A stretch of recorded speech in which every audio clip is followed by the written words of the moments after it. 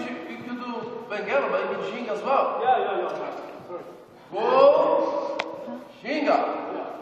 Capoeira is no capoeira without ginga. Okay? You ginga, you go, you feel the energy of the order, you feel your space, right? You start listening to the music, to see if the floor is slippery or not, all those things. You are you study the opponent, the energy first, all of us, so you have to ginga. okay? Back.